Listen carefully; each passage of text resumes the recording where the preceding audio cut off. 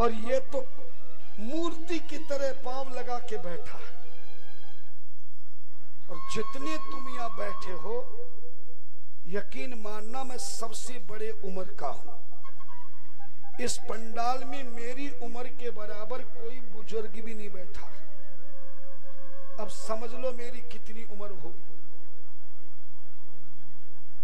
जिसका बेटा 45 साल का होगा तो बाप कितना होगा? इतना तो अंदाज़ा तुम्हें होगा। पर तुम भी नज़र गढ़ा के बैठे हो, ये क्या खा के बैठता है? पर सही माने तो गऊ का दूध ही मेरे लिए अमृत है।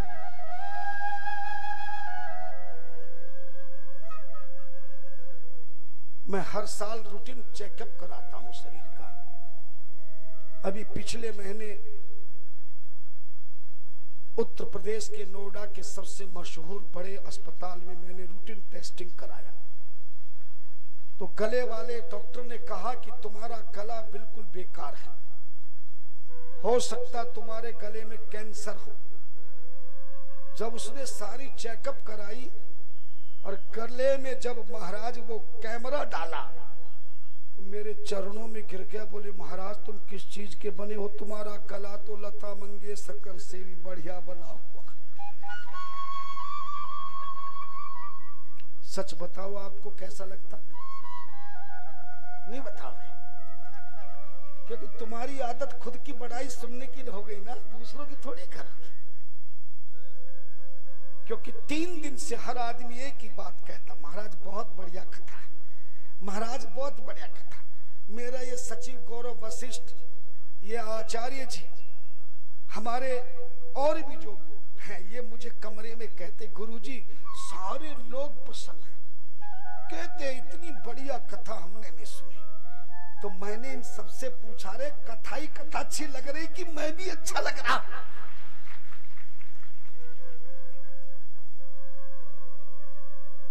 आचार्य जी ने कहा कि तुम्हारे लिए तो किसी ने भी नहीं कहा कि तुम अच्छे लग रहे हो। तो मैंने कहा एक काम कर यहाँ से छुट्टी करा मेरी। हारी हरी। हरी हरी। हरी हारी। तभी ब्रह्मा ने हाथ जोड़ के कहा प्रभु आपने अपने शिवलिंग की पूजा की प्रमुख सामग्री नारायण के शरीर से प्रकट हुए जल को स्वीकार किया है। हे महाराज, मैंने भी तपस्या करी है। मैं भी अपनी ओर से आपके शिवलिंग की पूजा की सामग्री को प्रकट करना चाहता हूँ। भगवान शिव ने कहा, जल्दी करो। तभी ब्रह्मा ने ध्यान लगाया, अपनी शक्ति को जल में डाला तो ब्रह्मा की शक्ति से नारायण के जल में दो वृक्ष प्रकट हो गए। एक सफ़ेद रंग का एक लाल रंग का। सदा शिव ने कहा, ये दोनों वृक्ष एक लाल रंग का, एक सफ़ेद रंग का है। ये सफ़ेद रंग का मैं विष्णु को देता हूँ, लाल रंग का मैं ब्रह्मा स्वीकार करता हूँ। यद्यपि ये दोनों वृक्ष अलग अलग रंग के होंगे अलग अलग देवताओं के काम आएँगे, लेकिन इन दोनों वृक्षों का नाम एक जैसा ही होगा और ये वृक्ष चंदन के नाम से विख्यात होंगे। ब्रह्मा, तुम्हारी प्रकट गई ये चीज़ पूजा मेरे शिवलिंग में भी प्रयोग होगी और विष्णु की पूजा में भी प्रयोग होगा। मगर ये दोनों चंदन, लाल चंदन मेरे शिवलिंग को जो लगाएगा और सफ़ेद चंदन जो भगवान विष्णु और इसके अवतारों को लगाएगा हम दोनों की कृपा पात्र बन जाएगा और सारा कष्ट, दुख, रोग, समस्या से मुक्त हो जाएगा और चंदन लगाने वाले के घर में धन लक्ष्मी भरपूर भंडार भर जाएगा। लेकिन है ब्रह्मा, चाहे विष्णु को चंदन लगाए, चाहे मुझ शिव के शिवलिंग को लाल चंदन लगाए, मगर मैं वरदान देता हूँ ये चंदन तभी पूजा में स्वीकार होगा जब इस चंदन को जल में से मिलाया जाएगा। चंदन को किसमें मिलाओगे? जल में। यानी किसमें रगड़ोगे? जल में। अगर जल के बिना तुमने चंदन को सूखा रगड़ दिया तो अनल प्रगट चंदन ते हुई। उसी चंदन में अग्नि पैदा हो जाए। इसलिए भगवान शिव को या विष्णु को कभी भी चंदन लगाओ तो चंदन घिसने वाले पत्थर पर इसको घिसना, पर क्या डाल के घिसना? ज़ोर से बोलो, कभी भी सूखी रोली, सूखी चंदन, कई लोग पूजा में सूखी रोली रगड़ देते कभी भी रोली चंदन, अष्टगंध कभी बिना चल के ना तो देवताओं को लगाना चाहिए और ना ही किसी संत को लगाना चाहिए। ना ही किसी धर्म कर्म में बिना चल के चंदन, अक्ष या रोली, अष्टगंध प्रयोग नहीं करना चाहिए। और जिस पत्थर पर चंदन घिसे कभी भी सीधा सीधा उस पत्थर से चंदन लेकर के किसी भी देवता की पूजा में प्रयोग नहीं करना चाहिए। जो पत्थर से सीधा अंगुलियों से चंदन लेके देवता को लगाते हैं, या खुद को लगाते या दूसरों को लगाते हैं, वो राक्षस योनि को प्राप्त होते हैं, श्रापित हो जाते हैं। इसलिए जिस पत्थर पर चंदन घिसे, उसे अपने उल्टे हाथ में ले ले। किसी कागज़ में ले ले, किसी पत्ते में ले ले, किसी दोने में ले ले, किसी बर्तन में ले ले, मगर तांबे के बर्तन में कभी भी चंदन नहीं लेना चाहिए। तांबे के बर्तन में दो चीज़ खराब हो जाती है, बल्कि तीन चीज़ खराब हो जाती है। तांबे के बर्तन में रखा हुआ चंदन और तांबे के बर्तन से चढ़ा हुआ दूध जहर बन जाता है। तांबे के बर्तन में अमृत क्या चीज़ बनती है? नहीं मालूम। क्या बात है? तांबे के बर्तन में रखा हुआ जल अमृत बन जाता है। चांदी के बर्तन में रखा हुआ दूध अमृत बन जाता है। और काशी के बर्तन में रखा हुआ दही छाछ मट्ठा अमृत बन जाता है। धन्यवाद। भगवान शिव ने चंदन ब्रह्मा का स्वीकार किया। तभी ब्रह्मा विष्णु ने भगवान शिव से कहा, प्रभु, विष्णु के शरीर से निकले जल को आप शिवलिंग में प्रयोग करेंगे। स्वीकार किया है। मुझ ब्रह्मा के चंदन को आपने लाल चंदन को स्वीकार किया है। लेकिन हे प्रभु आप भी अपनी ओर से इस जल में ऐसी वस्तु प्रकट कीजिए, ताकि भक्त जल चढ़ाकर, चंदन लगाकर, आप शिव के द्वारा प्रकट की वस्तु को भी शिवलिंग की पूजा में प्रयोग करके आपकी कृपा को प्राप्त कर सकते हैं। तभी भगवान शिव ने कहा, हे ब्रह्मा, हे विष्णु, जो किस दिगंबर रूप से मैंने ब्रह्मा को श्राप दिया है। इस दिगंबर शरीर से काल भैरव प्रकट हुआ है। अगर इस शरीर के द्वारा मैंने कोई वस्तु प्रकट की तो तामसिक वस्तु होगी। इसलिए तुम दोनों हाथ जोड़ के आँखें बंद करो। मैं दूसरा रूप धारण करता हूँ। हाथ जोड़िए। जैसे ही ब्रह्मा विष्णु ने आँखें बंद की, तभी क्या देखते हैं? आँखें खोलकर क्या देखते हैं कि दिगंब रूप गायब हो गया और उसकी जगह पे भगवान शिव का साकार स्वरूप प्रकट हो गया। पंचवक्र स्त्री नैनो भाल चंद्रो जटाधर घोर वर्णो विशालक्षो, भस्मो धूलित विग्रह। दस बाहूर नीलगढ़ सर्वाभरण भूषित सर्वांग सुंदरो भस्म त्रिपुंडांकित मस्तक है। भगवान शिव का दूसरा रूप प्रकट हो गया। जिनके पाँच मुख थे। भगवान शिव के कितने मुख थे? कहीं आप आप कई बार जाकर देखा होगा, शिवलिंग में पाँच मुख वाला शिवलिंग। पाँच मुखों की शिवजी की मूर्ति कहीं देखी होगी। ये इसी समय प्रकट हुई थी। पाँच मुख शिव प्रकट हो गए। दस हाथ है, पाँच मुख है। सभी मुखों पे तीन तीन नेत्र हैं, गोरा वरण है। भगवान शिव प्रकट जैसे हुए, इन्हीं पाँच मुखों से जल में शिवलिंग की पूजा के लिए भगवान शिव ने पाँच वस्तुएँ प्रकट कर दी।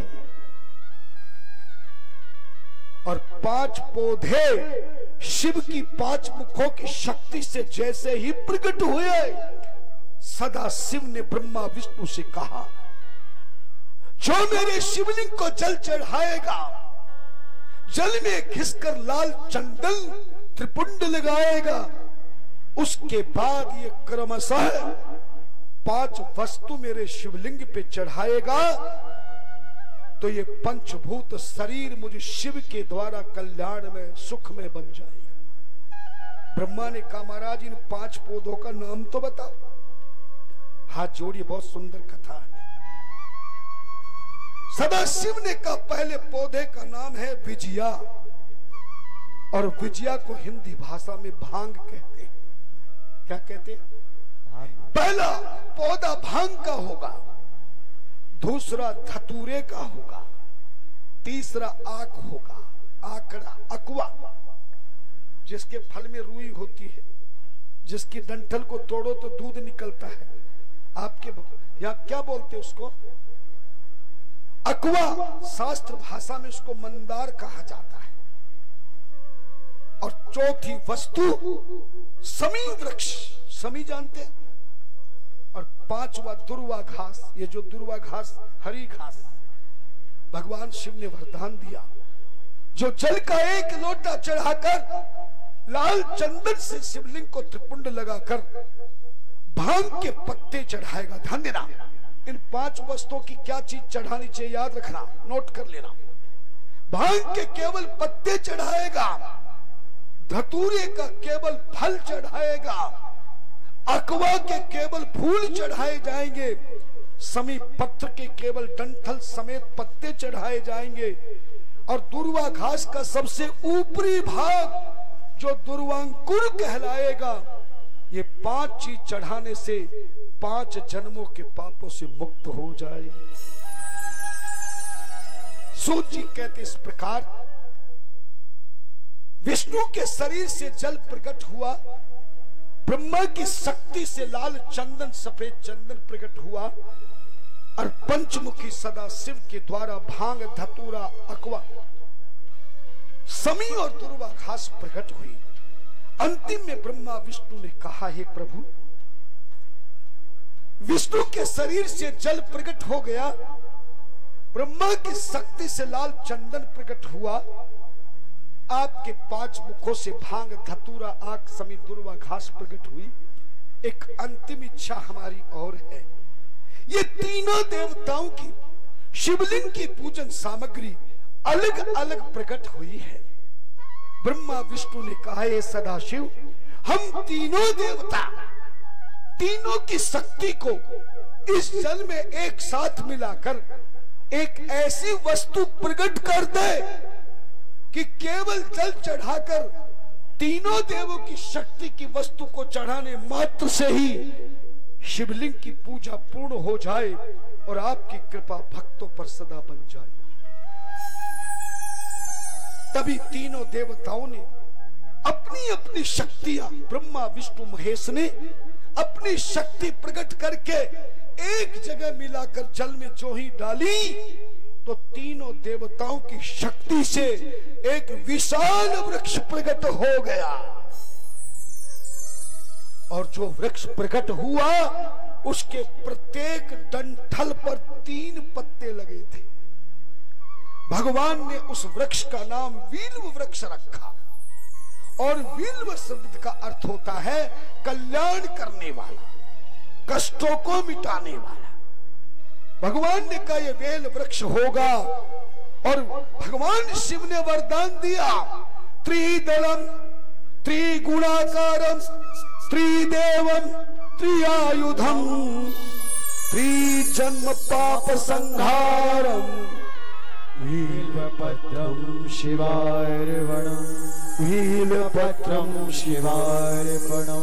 वीलपत्र शिवार्पणम् ध्यान देना। त्रिदलम तीन दल। एक डंठल में तीन पत्ते। त्रिगुणाकार सतरज तम, तीनों गुण हो गए। त्रिदेवम, इन तीनों पत्तों में हम तीनों देवता विद्यमान रहेंगे। और त्रिजन्म पाप संघारम वील पत्रम शिवार्पण जो इस वील पत्र को जल चढ़ाकर, चंदन लगाकर, भाँग के पत्ते धतूरे का फल, अकवा का फूल, समी के टहनी समेत पत्ते और दुर्वांकुर चढ़ाकर जो इस तीन दलों का त्रिगुणाकार, इस बील पत्र को जो मेरे शिवलिंग पर चढ़ा देगा, त्रिजन्म पाप संघारम उसके तीन जन्मों के पापों से मुक्ति होकर मुझे शिव की भक्ति प्राप्त हो जाए। बात समझ में आ गई कि नहीं आपको?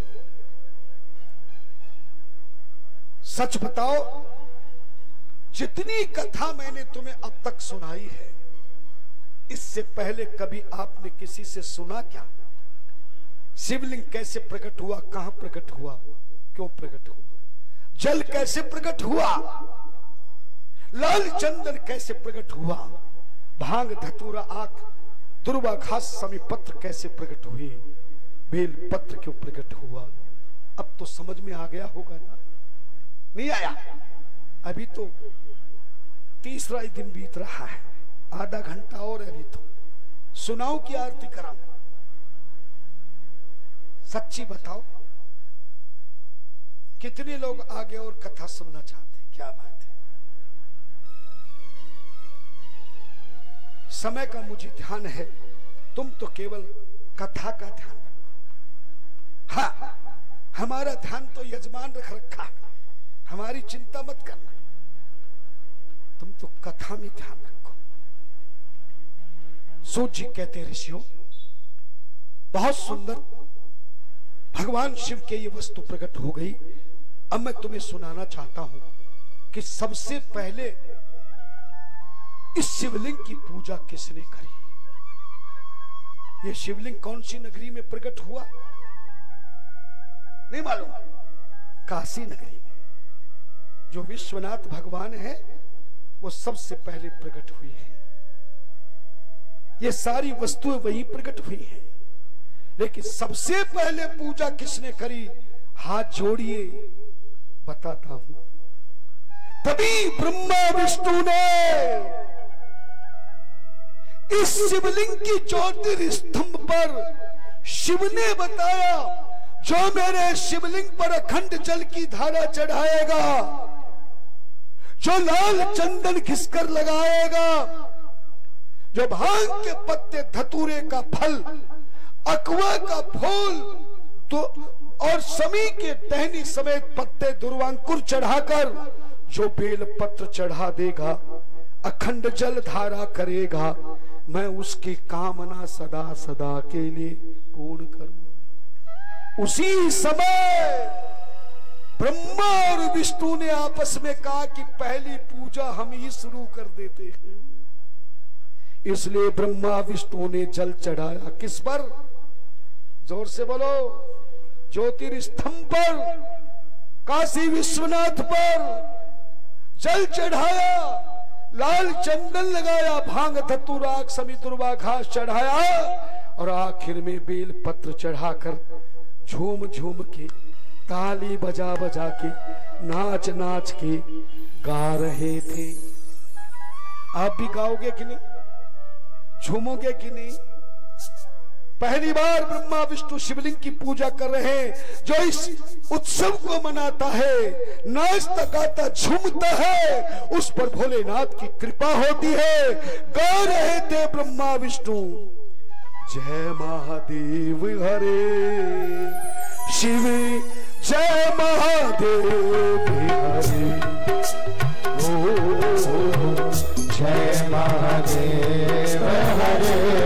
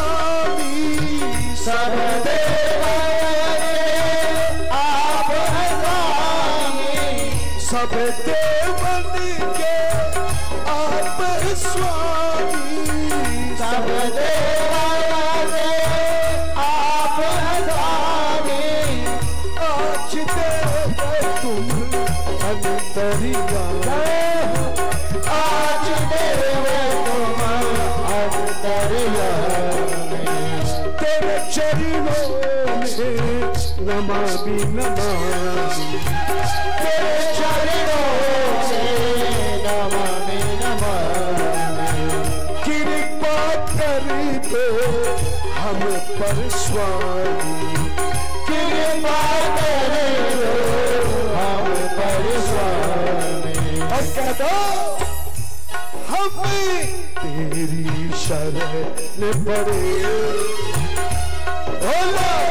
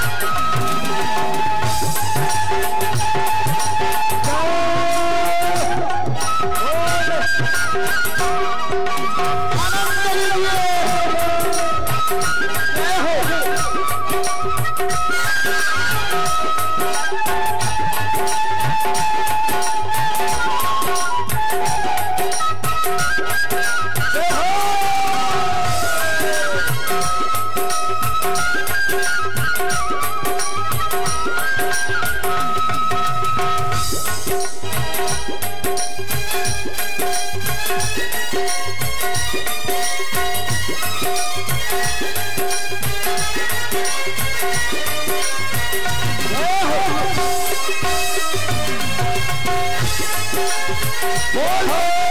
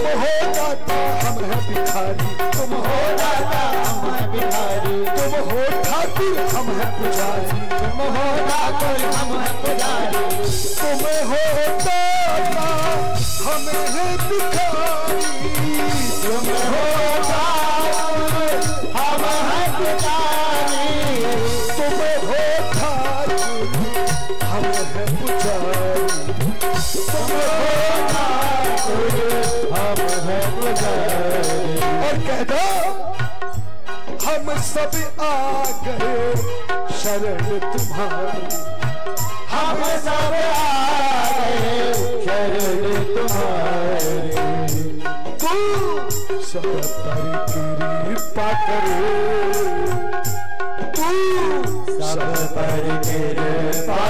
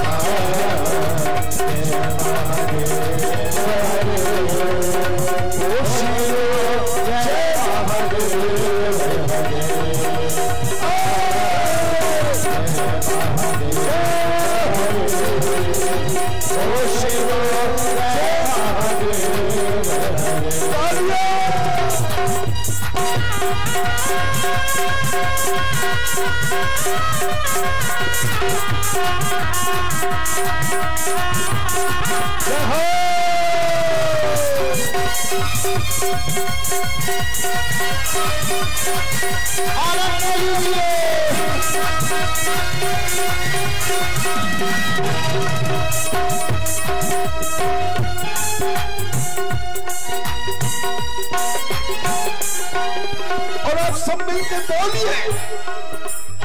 हम सब तेरे द्वारे हम सब तेरे द्वारे सभी एक हाथ ऊपर करके बोलिए, हम सब तेरे द्वारे आए। हम सब तेरे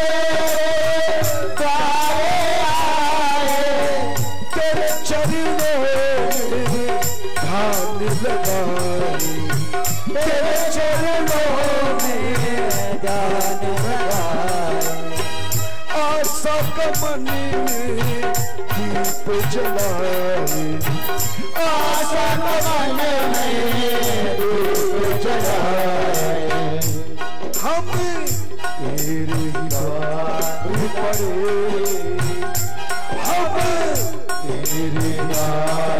पड़े ओ शिवा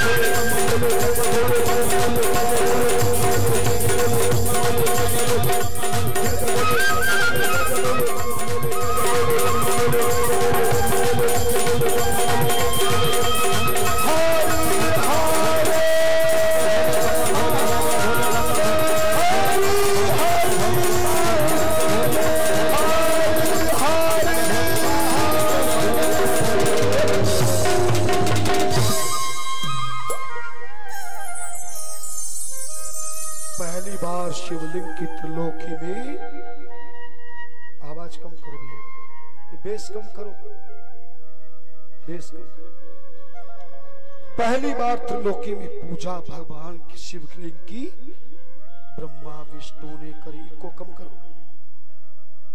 ध्यान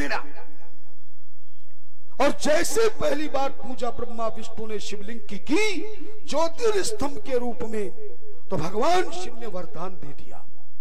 तुष्टो अहम अद्यवाम वत्सो पूजायास्मिन महादिने दिनमे तत पुण्यम भविष्यति महतरम शिवरात्रि इति ख्याता तिथि ऐसा मम प्रिय।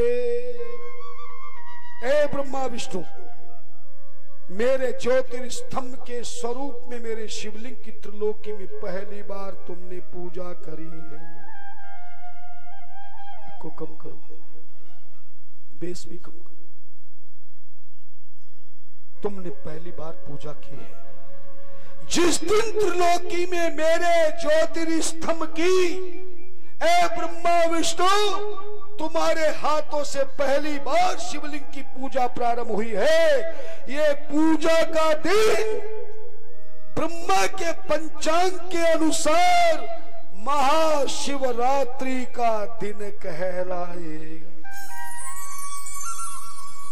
ध्यान से सुनना कथा तुम सनातन धर्मी हो शिव के पुजारी हो। ये क्या हो रहा है? हाँ, तो हरिंग हो रही है कम करो।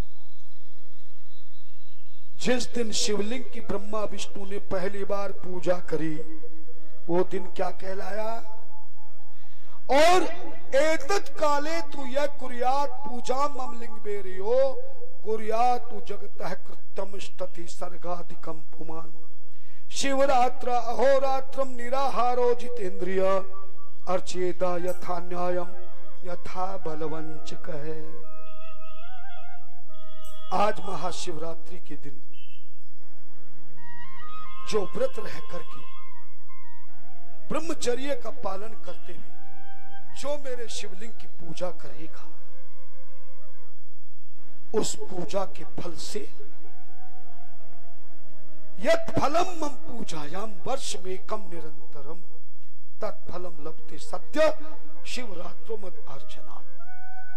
जो साल भर लगातार कोई भक्त रोज़ाना तीन सौ पैंसठ दिन नियम से जो शिवलिंग की पूजा करने पर फल मिलता है, वो केवल महाशिवरात्रि के दिन एक लोटा जल का चढ़ाने मात्र प्रदान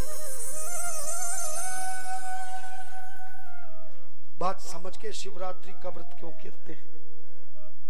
जिस दिन शिवलिंग की पूजा ब्रह्मा विष्णु ने प्रारंभ की, वो दिन कौन सा कहलाया? ज़ोर से बोलो। महाशिवरात्रि। भगवान शिव ने कहा, जिस दिन काशी में यह ज्योतिर्स्तंभ मैंने प्रकट किया, यह दिन मांगसिर महीने के आद्रा नक्षत्र का दिन होगा। मांगसिर महीना कौन सा है? जो दिवाली जिस महीने में आती, कार्तिक के महीने में, उसके बाद जो नया महीना आता है देसी, जिसको अगहन का महीना भी कहते हैं मांगशिर मास भी कहते हैं, मगर का महीना भी कहते हैं। आपके यहाँ अगन कहते होंगे, या मांगसिर कहते हैं? उस मांगसिर के अगहन महीने में जो आद्रा नक्षत्र होगा यह त्रयोदशी तिथि होगी, प्रत्येक महीने की त्रयोदशी, अगन महीने की यात्रा नक्षत्र, ये मेरे ज्योतिर्स्तंभ के प्रकट होने का दिन होगा और यह दिन प्रदोष का दिन कहलाएगा। यानी जिस दिन ज्योतिर्स्तंभ के रूप में शिवलिंग प्रकट हुआ, इस पृथ्वी पर, इस त्रिलोकी में वो दिन प्रदोष का दिन कहलाया और जिस दिन शिवलिंग की पहली बार पूजा करी, वो दिन महाशिवरात्रि का दिन कहलाया। त्रयोदशी का व्रत किया जाता है, सायंकाल के समय, सूर्यास्त के समय पूजन करनी चाहिए। संतान जिसको नहीं होती तो प्रदोष का व्रत करे, पूजन करे। शाम के समय सूर्यास्त होने के बाद सुहागन स्त्री यदि पूजन करती सुंदर संतान पैदा होती है, पति की आयु बढ़ती है, रोग समाप्त होता है, धन सुख संपत्ति प्राप्त होती है। लेकिन महाशिवरात्रि का दिन तो सभी को मनाना चाहिए। यह दिन शिवलिंग की पहली बार पूजा करने का दिन है। आप दिन में पूजा तो करते हो, पर रात्रि में पूजा नहीं करते। इस कारण से शिवरात्रि की पूजा का फल प्राप्त नहीं होता। शिव पुराण के अनुसार एक पूजा मध्यान्ह के बाद करनी चाहिए और चार पूजा पूरी रात्रि के चार पहरों में करनी चाहिए। जो महाशिवरात्रि को पाँच पूजा कर लेता है, उसे बारह महीने की की गई पूजा का पूरा पूरा फल प्राप्त हो जाता लेकिन कलयुग में एक पूजा दिन में कर ले और एक केवल रात्रि में कर ले तो भी उसे शिवरात्रि की पूजा का फल प्रदान हो जाए। लेकिन अंतिम में कथा के विराम से पहले थोड़ा सा समय रहा है। बता देना चाहता हूँ, महाशिवरात्रि के दिन में पूजा करो या रात्रि को।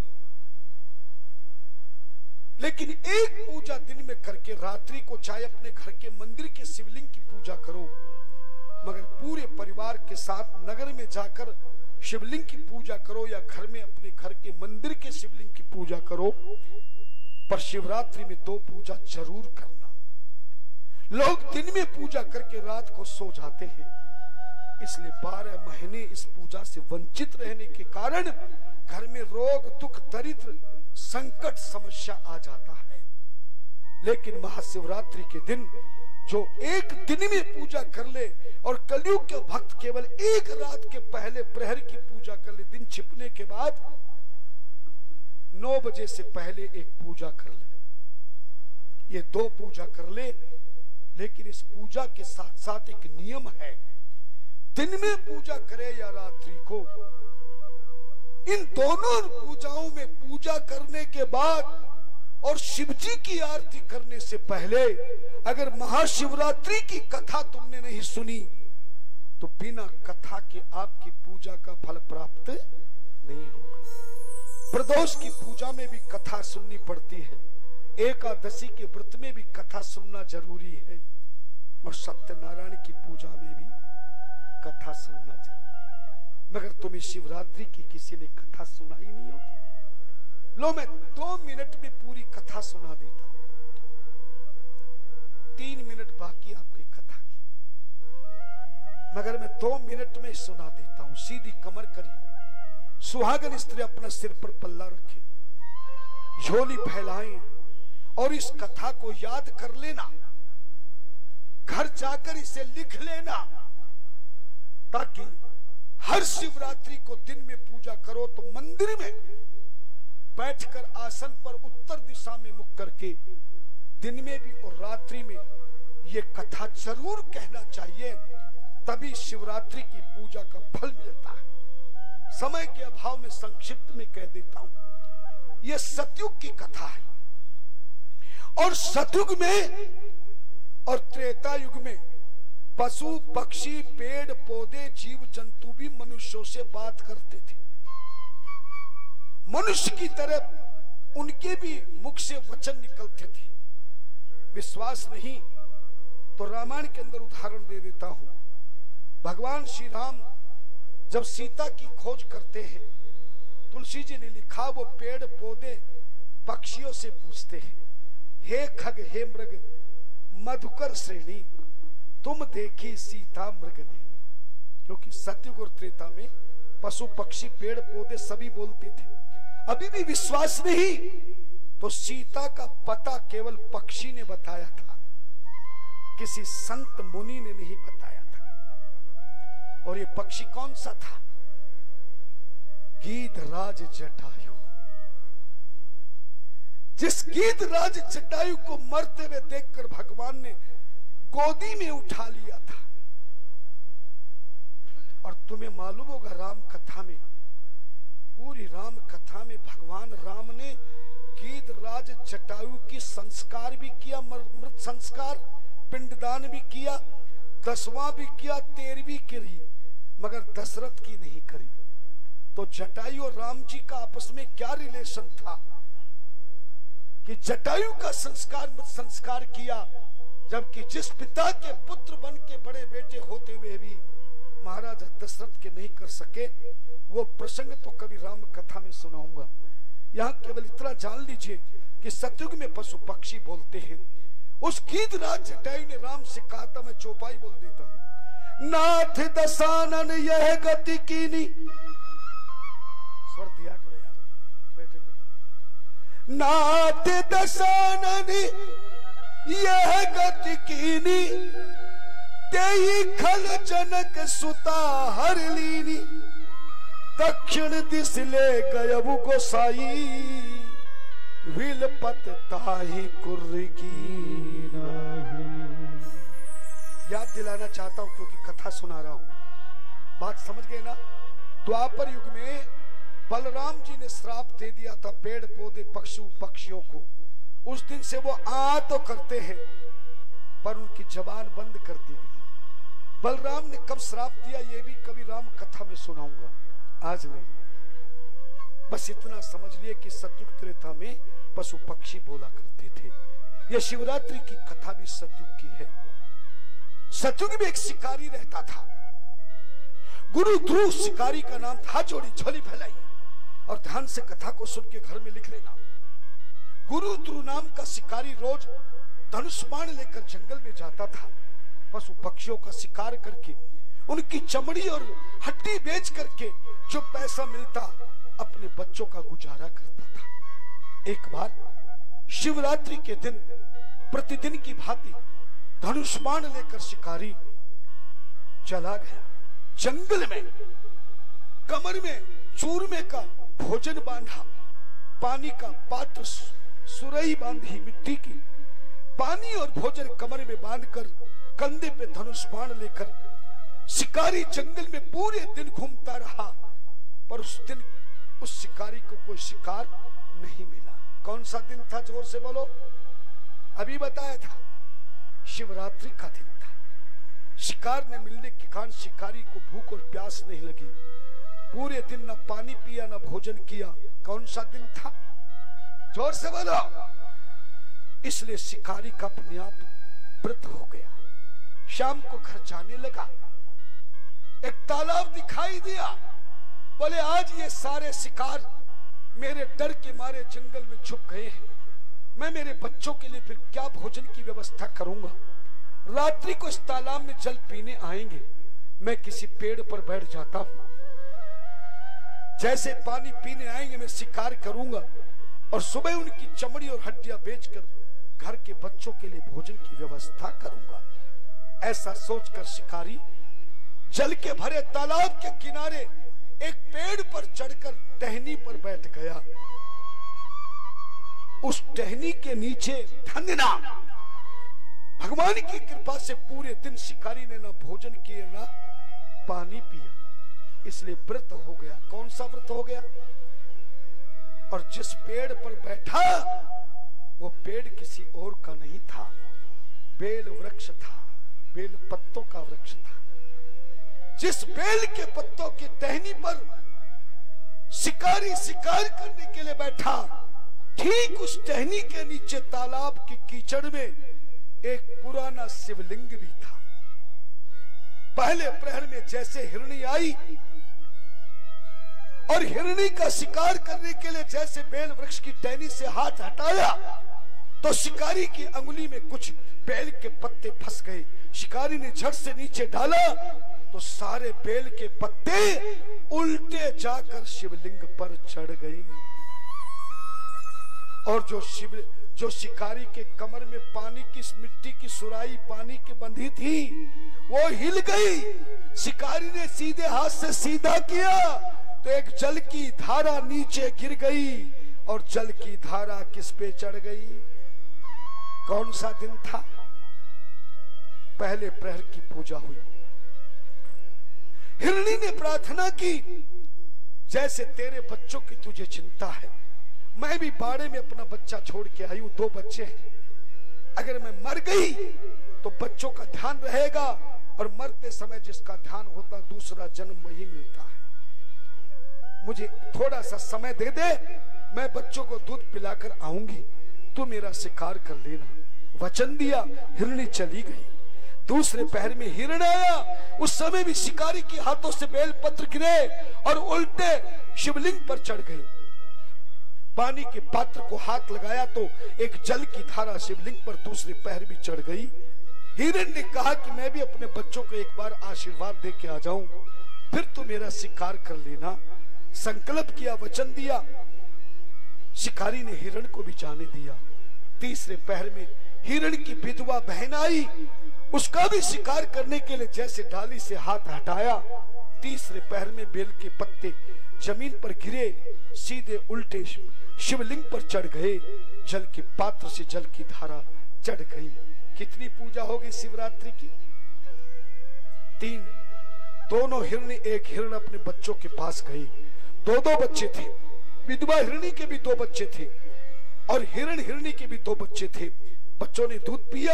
जब पता चला कि आज मेरी माता पिताओं ने शिकारी को संकल्प दिया है कुर्बानी देने का, तब वो चारों बच्चे बोले, हम तुम्हारे बिना कैसे जीवित रहेंगे? हम भी तुम्हारे साथ चलेंगे। चौथे पैर में चार बच्चे, दो हिरणी, एक हिरण कितने हो गए?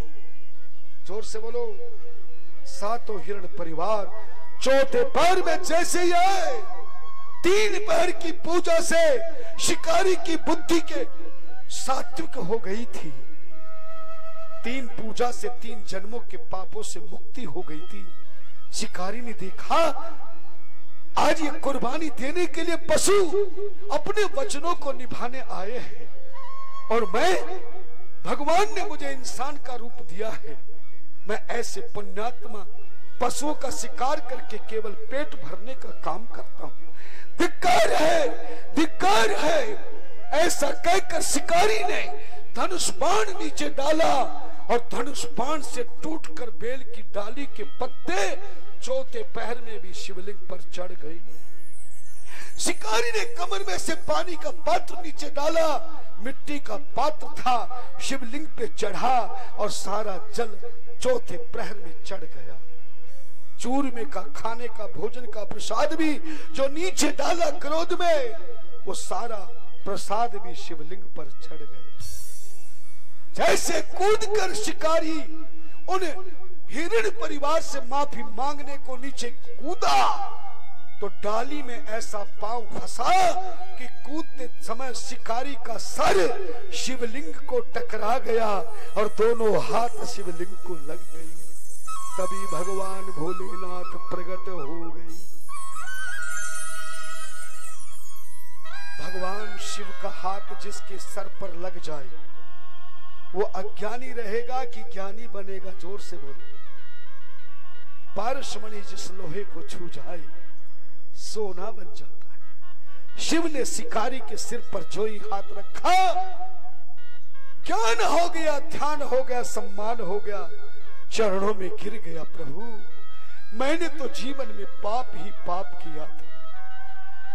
मैंने ज़िंदगी में कोई पुण्य नहीं किया प्रभु। शिव बोले, शिकारी, आज पहली बार सतयुग में तूने महाशिवरात्रि का व्रत करते हुए चार प्रहर की चार रात्रि की तूने पूजा की है। मांग! क्या मांगना चाहता है? शिकारी रोने लगा, प्रभु, मुझे नहीं चाहिए। आज यदि यह व्रत हुआ है, ये पूजा हुई है, इसमें मेरा कुछ भी नहीं। इन हिरणों के परिवार की वजह से हुई है आप इन हिरण के परिवार को वरदान दीजिए प्रभु। भगवान शिव ने कहा, जाओ, ऐ हिरण परिवार, तुमने आज कुर्बानी का संकल्प लिया है। आज मेरी माया से तुम्हारे शरीर की मृत्यु हो जाएगी और मरने के बाद तुम सातों के साथ उत्तर दिशा में सात तारे बनोगे, नक्षत्र बनोगे। उत्तर दिशा में सात तारों का मंडल बनेगा और मनुष्य शरीर से तुम सात ऋषि बनोगे। सप्त ऋषियों का मंडल तुम्हारा जीवन में बनेगा। तभी सातों हिरण परिवार ने मृत्यु प्राप्त की। सात तारों का मंडल उत्तर दिशा में चला गया, जो आज भी ध्रुव तारे के नाम से विख्यात है। सप्त ऋषि मंडल के नाम से विख्यात है। शिकारी से बोला, तू वरदान मांग या न मांग? मगर इस सतयुग के बाद जब त्रेता युग आएगा, क्योंकि तूने पशु पक्षियों की हत्या की है, इस बात के कारण त्रेता युग में एक बार तू गरीब लकड़हारा बनेगा, लकड़ी बेचने वाला बनेगा। मगर कुछ सालों के बाद तेरी मृत्यु हो जाएगी, और उसी त्रेता युग में तू शिकारियों का राजा बनेगा। तेरी श्रृंगवेरपुर राजधानी होगी। मेरे शिवरात्रि की पूजा से तुझे राम जी को बुलाने की आवश्यकता नहीं। बन जाते समय राम तुझे अपना मित्र बनाएँगे और तेरा नाम निषाद राज हो। भगवान शिव ने कहा, ये बेलपत्र मेरे द्वारा प्रकट हुए हैं। मैं आज से वरदान देता हूँ। कोई भाँग धतुर आग समितुरवा घास चढ़ाए या ना चढ़ाए। चंदन लगाए ना लगाए, जो आज से मेरे शिवलिंग को रोज़ाना या शिवरात्रि पर जो भी एक लोटा जल का चढ़ाकर ये बेल पत्र चढ़ा देगा, मैं उसकी सारी पूजा को स्वीकार करके उसकी सारी कामनाएँ पूर्ण कर दू एक और वरदान दिया हाथ जोड़िए, सुन लीजिए। जिसको बेल पत्र ना मिले, ध्यान देना। आखिरी बात कह के आरती करा रहा हूँ। हाथ जोड़िए। मेरी पूजा के समय मंदिर में अगर आपको बेल पत्र ना मिले तो पहले से शिव मंदिर में चढ़े हुए बेल पत्र किसी और के द्वारा मेरे शिवलिंग में चढ़े हुए बेल पत्र या शिव मंदिर में पड़े हुए बेल पत्र जो पहले किसी ने चढ़ा दिया है पहले चढ़े हुए बेल पत्रों को भी उठाकर, जो मेरे नारायण जल से धोकर के चढ़ा देगा तो नारायण जल से धुले बेल पत्रों को भी नए बेल पत्रों की तरह स्वीकार कर मगर आज के बाद, हे शिकारी, तेरे हाथों से जैसे उल्टे बेल पत्र चढ़े हैं तो मैं वरदान देता हूँ, मैं उसी बेल पत्र को स्वीकार करूँगा। जो मेरे शिवलिंग पर उल्टा चढ़ाया जाएगा, उसी दिन से बेल पत्र उल्टे चढ़ने लगे और वो शिकारी एक जन्म में लकड़हारा बना जिसकी कथा सत्यनारायण की कथा में तुम सुनते हो। और दूसरे जन्म में श्रृंगवेरपुर में निषाद राज बना, जो राम कथा में सुनते हो। बन जाते समय सबसे पहले राम जी इसी निषाद राज से भेंट की और अपना मित्र बनाया यह शिव महापुराण।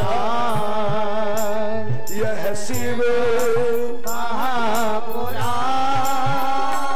यह शिव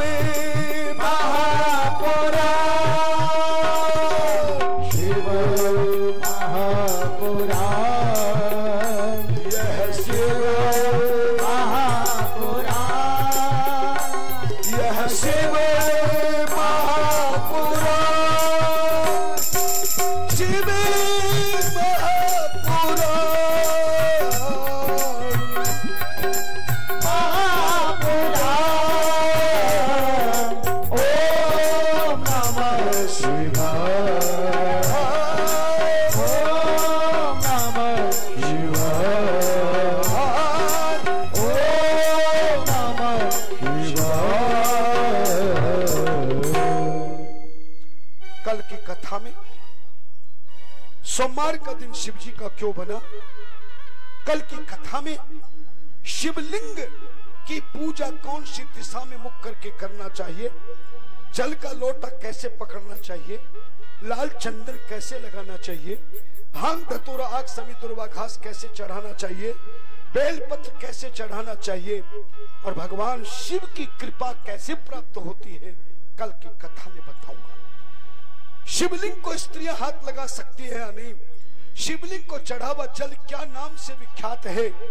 शिव को चढ़ावा जल पीना चाहिए या नहीं? पंचामृत का पान करना चाहिए या नहीं? शिवलिंग का प्रसाद खाना चाहिए या नहीं?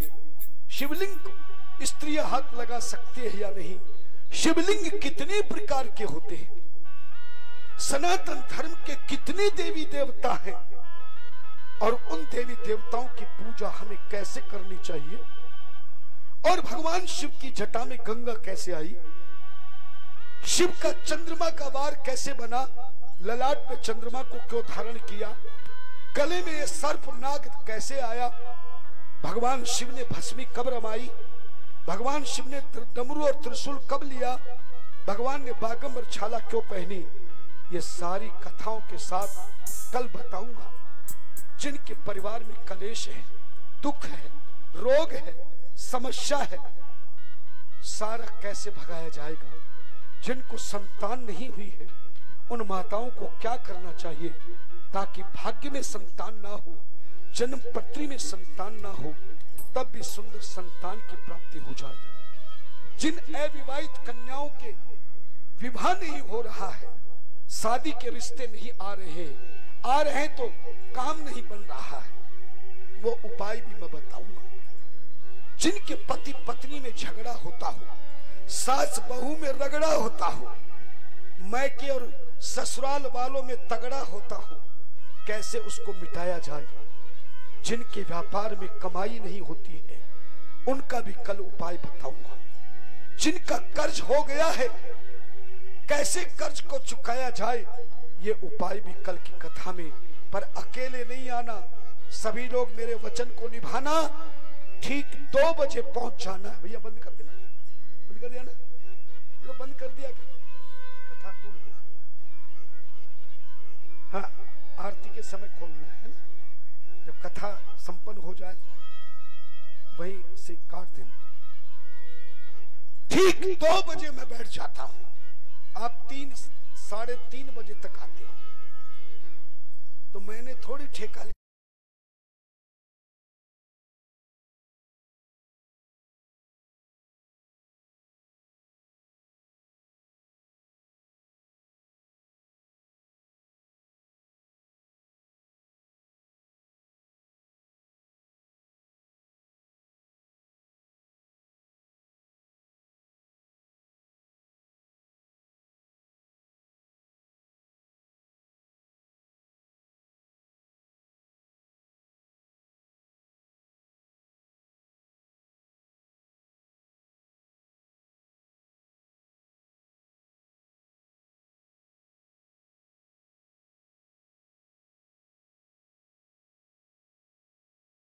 की आरती कीजिए शिव चरणों में ध्यान अपना दीजिए। शिव पुराण शिव जी की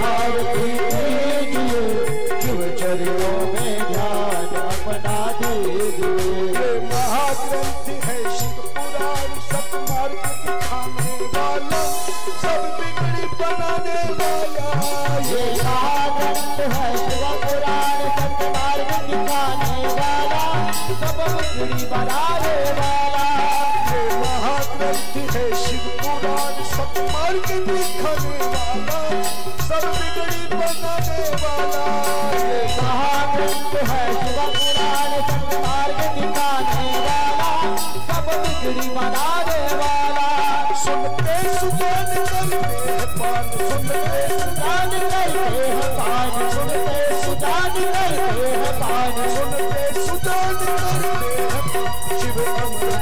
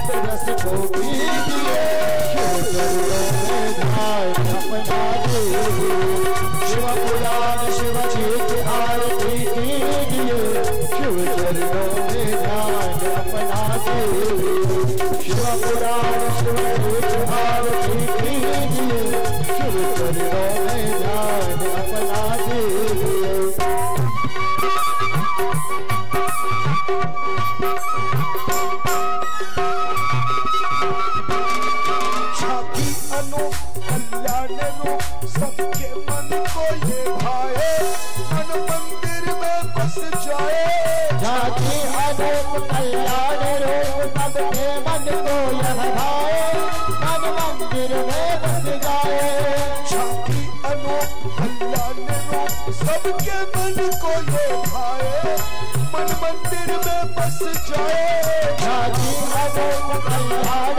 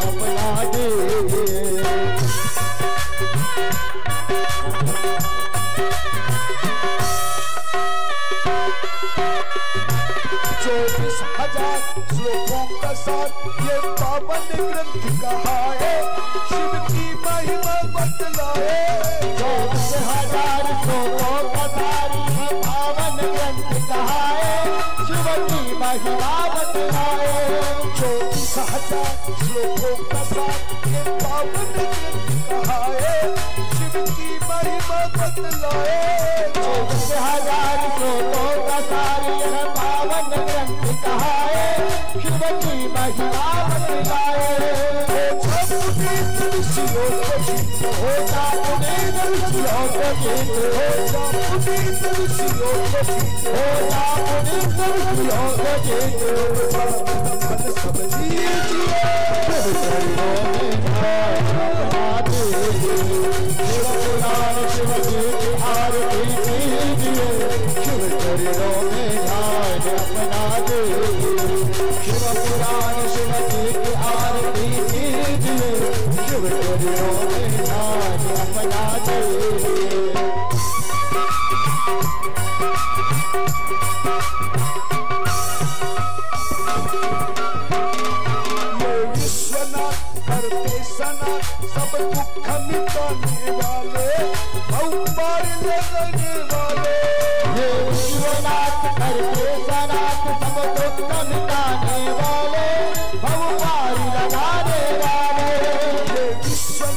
करते सनाथ सब दुख मिटाने वाले भगवान लगने वाले ये विश्वनाथ करके सनाथ सब दुख मिटाने वाले भगवान लगाने वाले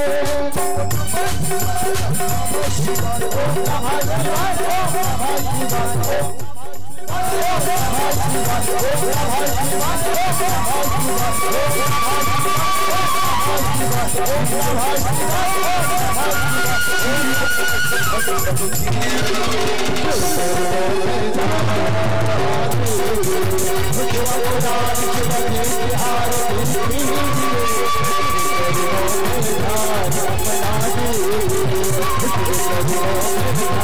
I'm What you want to do? Hare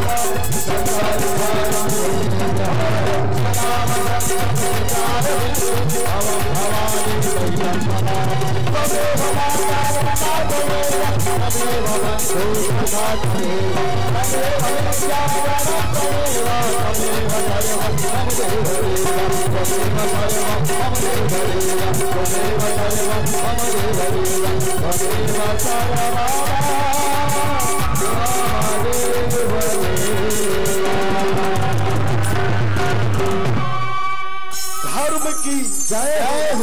धर्म का नाश हो। प्राणियों में सद्भावना हो। विश्व का कल्याण हो। गंगे माता की जय हो। प्रभु माता की जय हो। गीता माता की जय हो। गायत्री माता की जय हो। भारत माता की जय हो भारत के ऋषियों की जय हो भारत के संतों की जय हो भारत के भक्तों की जय हो भारत की सदियों की जय हो भारत की नदियों की जय हो भारत के विद्वानों की जय हो भारत के किसानों की जय हो भारत के जवानों की जय हो भारत के मेहमानों की जय हो सनातन धर्म की जय हो आज के आनंद की जय हो भक्ति और भगवान की जय हो शिव महापुराण की जय हो। सच्चे दरबार की जय हो। आप सभी भक्तों के परिवार की जय हो। हर हर। हरि हरि। हरे। महादेव देखिए आरती के बिना यदि आप जाएँगे तो कथा का आधा फल मिलेगा। आरती लेकर व्यास गद्दी से व्यास जी